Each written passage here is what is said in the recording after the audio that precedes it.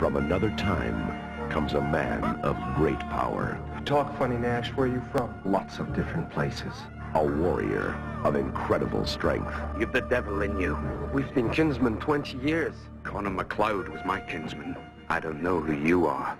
Because you were born different, men will fear you, try to drive you away.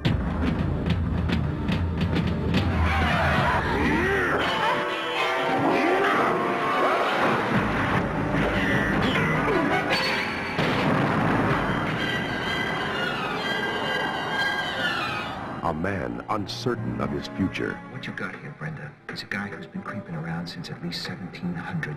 It's not possible. and haunted by his past. Wait a minute, Nash. I want some answers.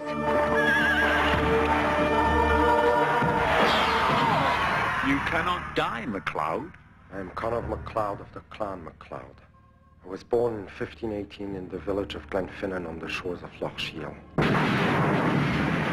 I am immortal. A hero who is about to face his greatest challenge. You will always be weaker than I. What can you tell me about a seven-foot lunatic hacking away with a broadsword at 1 o'clock in the morning, in New York City, 1985? Not much. For he is not alone.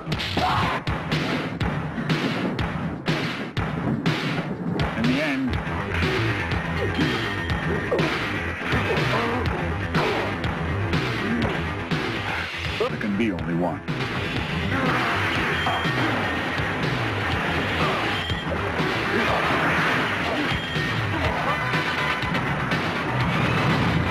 Highlander.